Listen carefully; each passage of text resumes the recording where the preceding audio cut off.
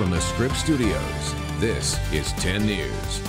Hello, I'm Jim Patton, and this is a 10 News update. Caltrans and Sandag announcing a temporary speed limit change on an eight mile stretch of the 5 as crews work on creating new carpool lanes. Starting Monday at midnight, you'll see 55 mile per hour speed limit signs posted on a stretch in Encinitas and Carlsbad. The reduction meant to increase safety of the highway as construction workers as they are working on the North Coast Corridor project. 55 mile per hour speed limit will be in effect until 2022. Now, the San Diego Humane Society celebrating the opening of its new state-of-the-art wildlife center today. Will expand the Humane Society's efforts to help animals and provide a permanent home for veterinary care for wildlife. New facility includes medical and surgical suites and habitats for the animals so that they can heal before they're released back into the wild.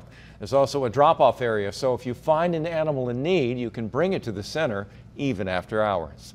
Uh, dozens of teens undergoing cancer treatment at Rady Children's Hospital getting the chance to head to spring training with the Padres. Some of the teens have spent months in the hospital and say that they're excited for the three-day trip to Peoria, Arizona.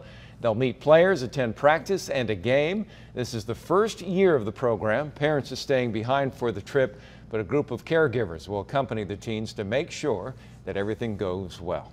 Time now to get a check on the weather with Megan. Yeah, today we are going to continue that chance for a few mostly snow showers in our mountains above 5,000 feet. Uh, Julian may see a little bit of snow as we head into tonight, but likely won't stick on the ground. And even if it does, it won't last very long.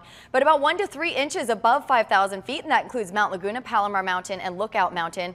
Just a slight chance for a few stray showers for the rest of the county today, though it is going to be quite cool and breezy. 50s for most coast and valley locations with a few low 60s.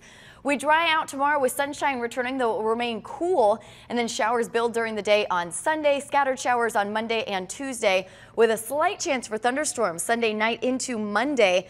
And then we finally dry out Wednesday and Thursday, and I think we're going to be drying out for a while after that, Jim. I think a lot of folks are ready for that. Megan, thank you. Hope you have a great weekend in store. For the latest news, weather, and traffic, go to 10news.com or download our free 10 News mobile app in the App Store. For 10 News, I'm Jim Patton.